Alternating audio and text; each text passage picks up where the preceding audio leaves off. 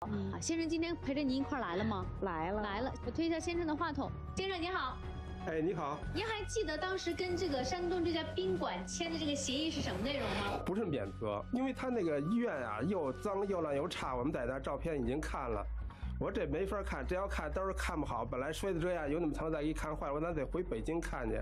当地那人呢，就是说你们要不呃在我们这儿看呀，说你们得写就写你们同意不在我们这儿看，就写的同意不在他那儿看。你们是在哪签的？在医院签的还是在酒店他？上那个酒店，他那上他那房间里找我们去，写那条。从您的角度，您认为应该找谁来承担这个责任呢？因为是这个旅行社介绍我们去的，在酒店摔的，旅行社、酒店他都应该有责任。刚才我听他讲，您不是很支持他，对吗？我说呀，都这岁数了，他老睡不着觉，血压也高，心脏也不好。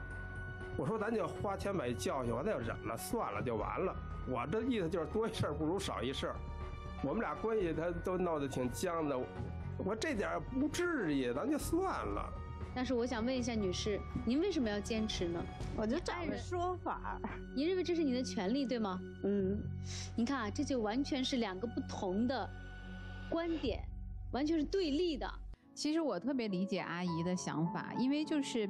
嗯，每个人的性格不同，您肯定觉得您摊上这个事儿了，您有一个情节没过去，就是受伤之前和受伤以后，您的生活是发生了急剧的变化的，嗯您的心理也因为外界的这个刺激导致了也发生了变化。啊，我也想放弃，我也想放下。，对，那他老在我脑子里。对啊，您现在等于说，不仅我这儿受了委屈、受了伤，现在变成我心里也受了伤、也受了委屈，对我的生活质量也下降了。最后通过这一件事情，你突然变得就是没有人理解你了，这个对你来说是更大的一个损伤。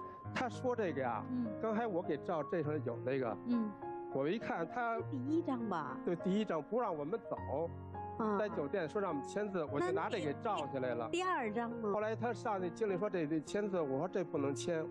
我说在你这儿摔的只能哪能说免责没责任呀？哦把那句话删了以后，他又重写一个签了。那也就是删的是这句话是吗？，对，酒店旅行社不再承担责对，任，第一把这张我们给删了。没签。啊我说我我们只能说在你这个医院治病，我们不同意，因为他那医院又脏又乱又差。我的意思就赶咱就赶紧回来，完了。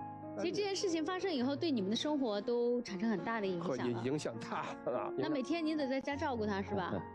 他照顾我三个月没下床我，哎以前买菜做饭就是我爱人，那时候他这一摔伤给我逼的逼上梁山，没办法了，什么都得我来着。啊，都都是那菜以前什么价位，什么多少钱一斤，讨价还价，他跟人讨价我特烦。现在我也会了，说明您在家照顾因为现在他得很好啊确实他不管干了，都是照顾的，很好是吧？都都是我干。嗯，师傅您二位平常生活很恩爱啊。还行，就是这件事儿有点不同意见。想一想，我愿意，先生之所以有不同意见，是为了谁呀、是为了您。那是为我，可是我这心里这口气就我出不来说的就是。什么，咱就我就说找一个地儿说一说他。身体也不好，我说到时候你再急坏了，再急个病，对你觉得现在身体最重要，对吧？我说你再气坏了，现在他血压挺高的还，而且说那个今天在这录音，明天还得上医院去照那什么 CT 脑我 CT。就是就是睡不好觉，血压高。原来我从来没有过血压高啊。其实啊，就是通过这件事情以后，虽然是一个不幸的事件，但是不幸中的万幸，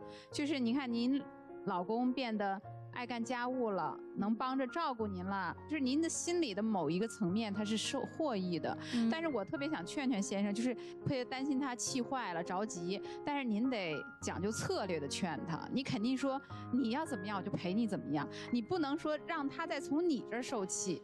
如果您要老拦着他，你不要去维权，你差不多就行了。这点事儿得翻篇了，或者老是去说教他。我们说，其实呃，心理的那个工作和心理的这个动机，它不像做思想政治工作，他就觉得您不理解他，您不懂他，反而您这个效果呢是越劝越反。